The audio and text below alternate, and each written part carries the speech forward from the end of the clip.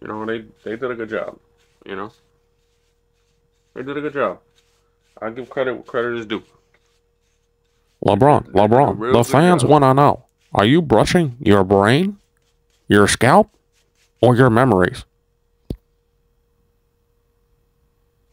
It must be your scalp. Thank you. Real good job.